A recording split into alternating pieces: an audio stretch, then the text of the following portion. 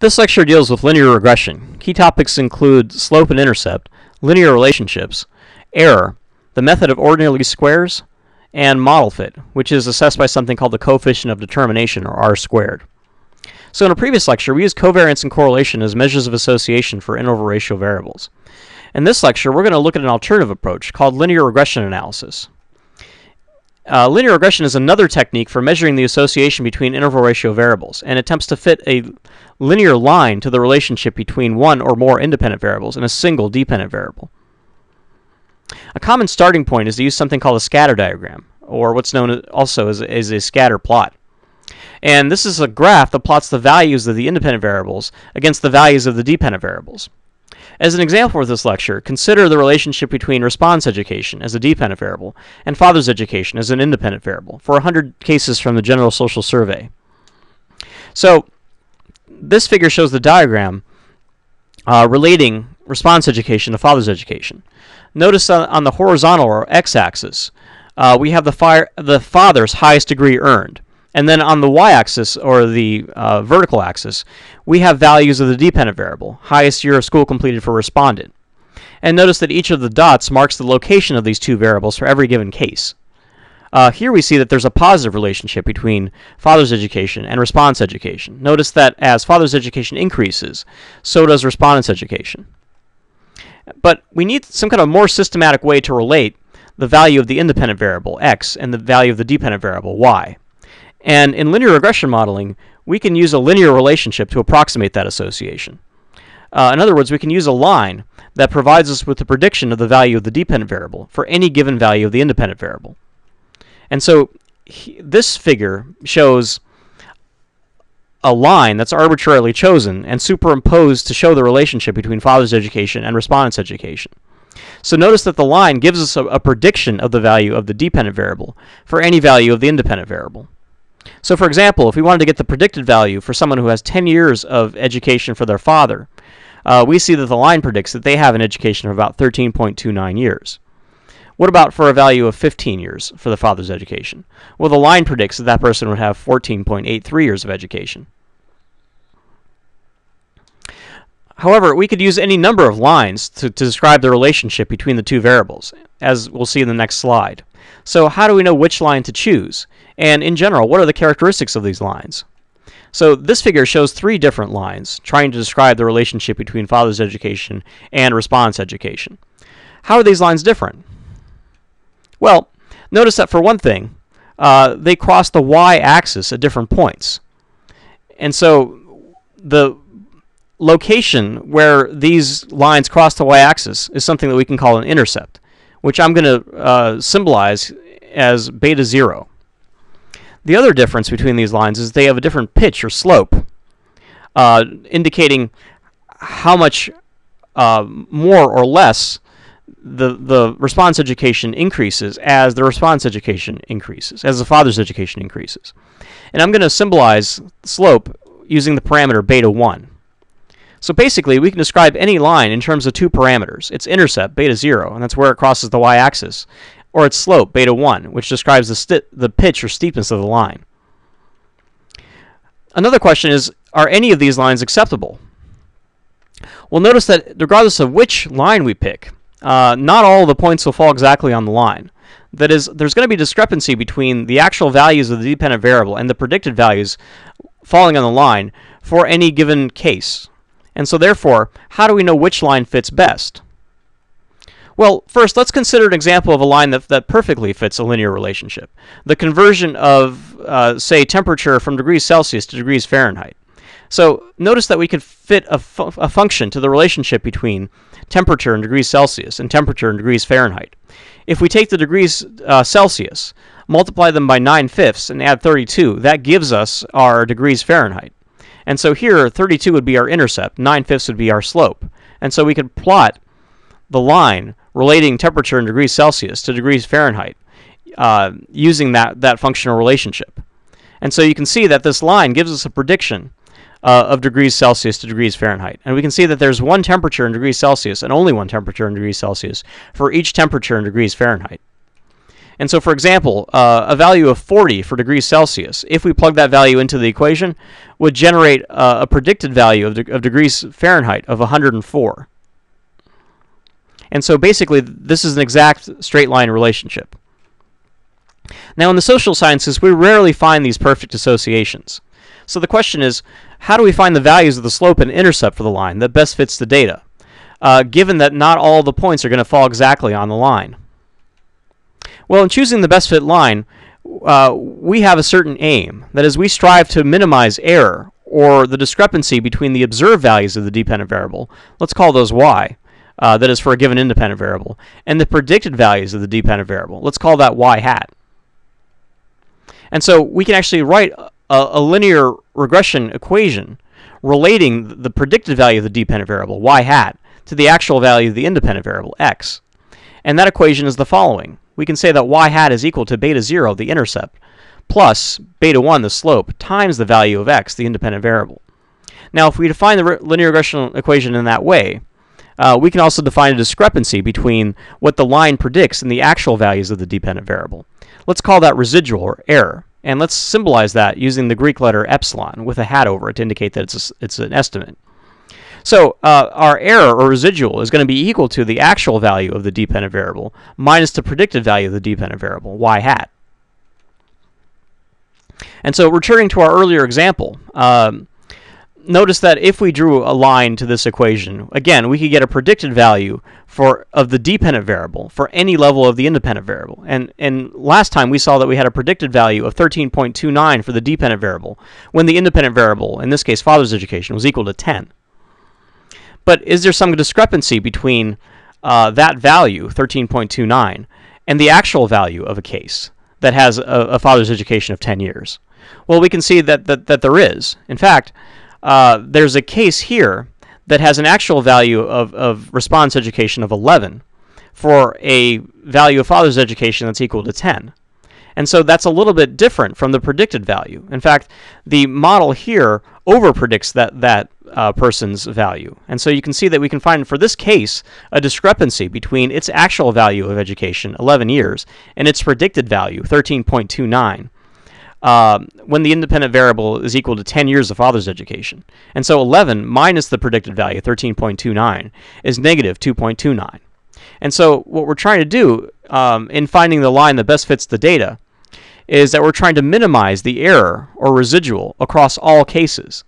Uh, that is not just that one case, but across all the cases in, in, the data set that we're using.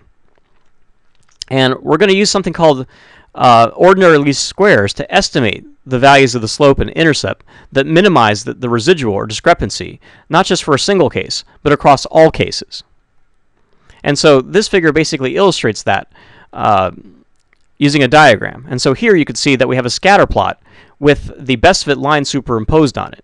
What we're trying to do is we're trying to find the line that minimizes the distance between what the line predicts and the actual values of the dependent variable across all cases. And those, those differences or discrepancies are called residuals. And so we're trying to, to min- minimize all of the residuals. Now, unfortunately, this line is a kind of average. And so if we take and we sum all the residuals, uh, and we subtract the value of, of the predicted values that come from the line, it would always sum to zero. And so what we have to do, in fact, is we have to exaggerate some of the differences between the discrepancies between what the line predicts and the actual values of the, of the dependent variable so that they don't sum to zero. And we do that by squaring. And so what we try to do when we estimate the values of the slope and intercept that, that uh, best fit the data is we have to try to find the, the values of the slope and intercept that minimize the squared residuals or the sum of squared residuals, right? So uh, recalling that the residual is equal to the difference between the actual value of the dependent variable and the predicted value. In order for them to uh, sum to something other than zero, we have to square them. And so this ordinary least squares procedure tries to minimize the sum of the squared residuals. And now typically the, the easiest way to explain how we find the values of the slope and intercept that minimize the sum of squared residuals is to use differential calculus. Although that's a little bit complicated. And so Another way to do it is to use these calculating formulas. And so these calculating formulas show us uh, how to calculate the slope, beta 1, and the intercept, beta 0, uh, using a combination of variances and covariances and mean values. And so you can see from the formulas that beta 1, the slope, is equal to the covariance of x and y divided by the variance of the independent variable x. And then once we have the slope, uh, we can estimate the intercept. And so the intercept is going to be equal to uh, the mean of the dependent variable minus the product of the slope, beta 1, times the mean of the, the independent variable, x. And the reason that we can get the slope in this way is because the regression line always includes the point that has the means of both variables. So this table shows a variance-covariance matrix of education and father's education. So uh, on the main diagonal are values of the variances. So the variance for education is 10.29. Uh, the variance for father's education is 19.68. And then on the off diagonals are covariances. And so the covariance of education and father's education here is going to be 6.68. I also show the means of both variables. And so the mean for education is going to be 13.65. And the mean for father's education is going to be 11.27.